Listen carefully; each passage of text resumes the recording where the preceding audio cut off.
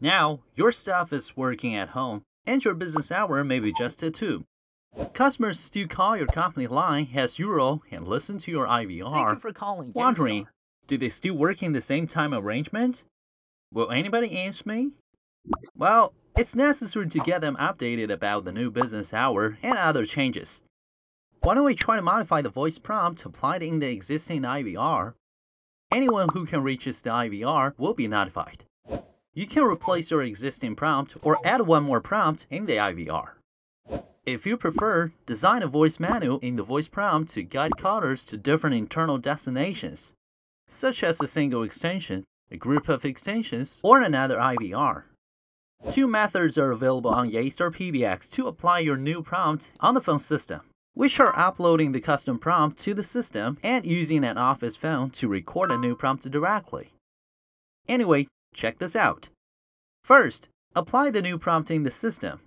Choose Settings, go to Voice Prompt, choose Custom Prompt. Click to upload your file if you've already made it. Make sure the file satisfies the requirements listed. If you try to use an office phone, click Record New, set a name, choose your design extension, click on Record.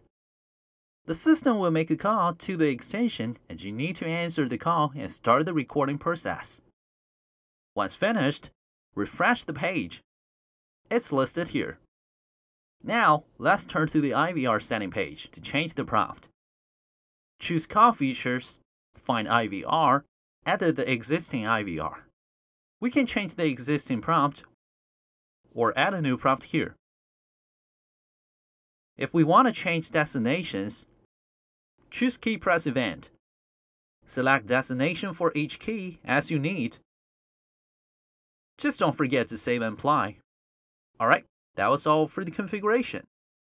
So generally speaking, IVR is an efficient way to help notify your customers of your company's important messages whenever they call in.